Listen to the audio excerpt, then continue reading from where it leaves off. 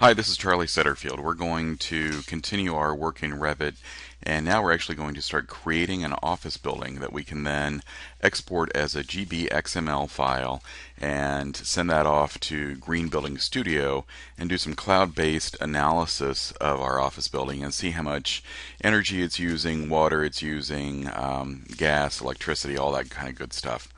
So um, I'm going to go back to the very beginning of Revit here. So I'm back at the original gray screen.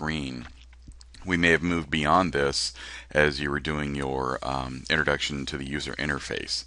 But I'm back to my gray screen and you can get there by um, either restarting Revit or if you just minimize the windows and close those windows, your view windows, you'll get back to your gray screen as well.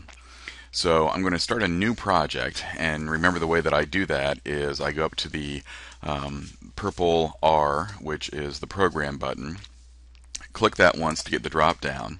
And once I have my drop down menu I'm going to slide down to the new uh, command there but I'm not going to press my mouse yet. I'm going to slide over to project to create a new project and then I'm going to press the mouse button. That opens up my new project um, dialog box here. I'm going to click the Browse button again and this time I'm going to go and select a commercial default template to use for this project. So commercial default, click that once and then click the open button. Takes me back to the new project dialog box. It has now changed to the template that I've got in this um, destination window here. Uh, the project radio button is still selected, which is fine. And now I'm just going to click OK and let Revit go ahead and start that blank project for me. It'll take just a minute while it does that. And once we have everything in place, we're up and ready to go. So here we are. Uh, we're on our level one plan. Notice this time since we're in a commercial template instead of a residential template, some of the wording is a little bit different. So in residential it said first floor, in commercial it says level 1. So same idea though. So what I'm going to do is just create some walls here and um, add some levels so that we've got uh, two or three floors that we can use in this office, office building for analysis purposes. So I'm on my home tab up here at the top and I've got my ribbon I'm going to click the drop down underneath wall here and I'm going to select wall.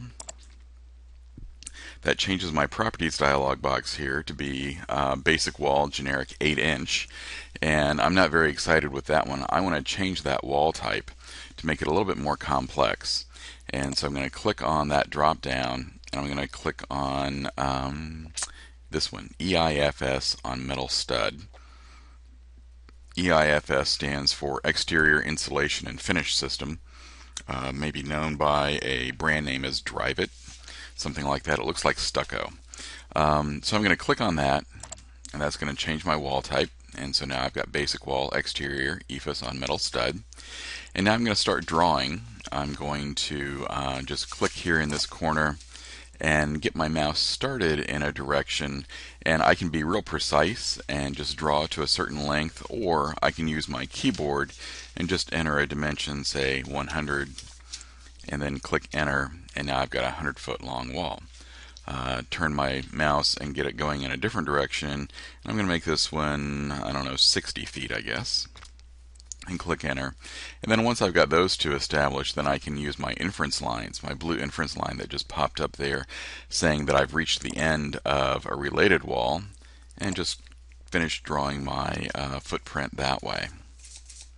So now I've got four walls, no problem. I'm going to click escape a couple of times to get out of that place wall command. So now I've got my footprint defined and so now I'm going to take a look at this in three dimensions. It's easier sometimes to picture what's going on if we go ahead and select 3D. So up on my uh, quick access toolbar up here at the very top I've got a default 3D view option. Looks like a little house in three dimensions. So I'm going to click on that little house and that takes me to a 3D view. Um, not very descriptive, but there are my walls. I'm going to slide down to the bottom of my view window here and I'm going to change the visual style from hidden line to shaded. And that's going to give me a gray box, which is fine. That's what I expected to see. And so I, now I know that I've got my four walls. Um, what I want to do next, I want to make a three-story office building. So I'm going to control the levels. Uh, everything in Revit is related to the level that it is placed on. So over in your project browser, if you would just click on that and then slide down to elevations. And I'm going to go and look at the north elevation. So I double click on north. And here's my north elevation. I'm going to zoom in on uh, these level lines that are over here. And so as I place things they're constrained to a level and so if I'm drawing on level 1 and I place furniture, it's going to assume that I want it to be on level 1, not on the roof level. Um, makes sense, right? So what I'm going to do is add a couple of levels in here. So I'm on my Home tab up here at the top. And over here toward the right hand end, I've got a pane here that's called Datum. And Datum is just a way of organizing things.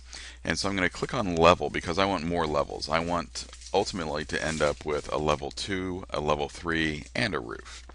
So I'm going to place the levels first, and then I'm going to play around with the dimensions to get them to be at the elevation that I want them to be at.